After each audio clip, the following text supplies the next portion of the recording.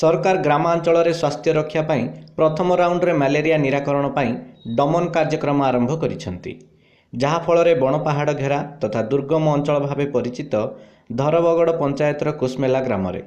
ଆଜି ସଇଁତଳା ସ୍ୱାସ୍ଥ୍ୟ ବିଭାଗ ତରଫରୁ ଏକ ଡାକ୍ତରୀ ଦଳ ପହଞ୍ଚିଥିଲେ। ଏହି କାର୍ଯ୍ୟକ୍ରମକୁ ଡକ୍ଟର ରାମପ୍ରସାଦ ପଣ୍ଡାଙ୍କ ତତ୍ତ୍ୱାବଧାନରେ ଫାର୍ମାସିଷ୍ଟ ପ୍ରହ୍ଲାଦ ମାଝୀ ମହିଳା ସ୍ୱାସ୍ଥ୍ୟକର୍ମୀ ଇତିଶ୍ରୀ ପ୍ରଧାନ ପୁଷ୍ପାଞ୍ଜଳି କୁମ୍ଭାର ତଥା ସ୍ଥାନୀୟ ଅଙ୍ଗନବାଡ଼ି କର୍ମୀ ଆଶା ମେମ୍ବରମାନେ ଉପସ୍ଥିତ ଥିଲେ।